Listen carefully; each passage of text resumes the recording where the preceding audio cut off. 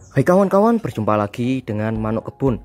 Kali ini Manuk Kebun akan ngebahas misteri perkutut buntel mayat ya kawan-kawan. Nah, buat kawan-kawan yang sedang menonton video ini, semoga diberi kesehatan, diberi rezeki, dan selalu diberi keberkahan dalam hidup ya kawan-kawan. Nah, langsung saja kita bahas tentang perkutut buntel mayat. Nah, perkutut ini sering kali banyak dilepaskan lagi ya ketika didapatkan. Nah, Sebenarnya perkutut ini juga punya dampak positifnya, namun kita tidak tahu.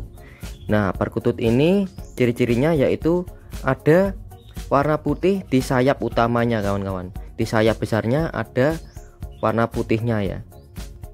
Nah, dalam artian perkutut buntel mayat sendiri yaitu yang berarti buntel yaitu bungkus ya. Sedangkan mayat sendiri adalah raga manusia. Jadi ketika kita mau melihara perkutut ini banyak yang rezekinya atau raga kita ini terbungkus. Jadi rezekinya tidak bakal bisa masuk kawan-kawan. Karena perkutut ini mempunyai aura yang kuat ya kawan-kawan. Perkutut ini mempunyai aura yang kuat.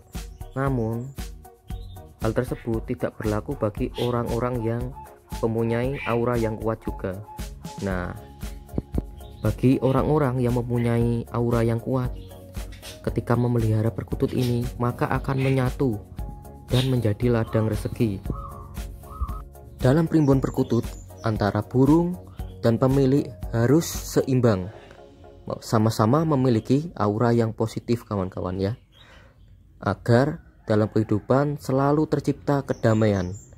Terima kasih ya sebelumnya sudah menonton video dari Manuk Kebun Sampai jumpa di video selanjutnya.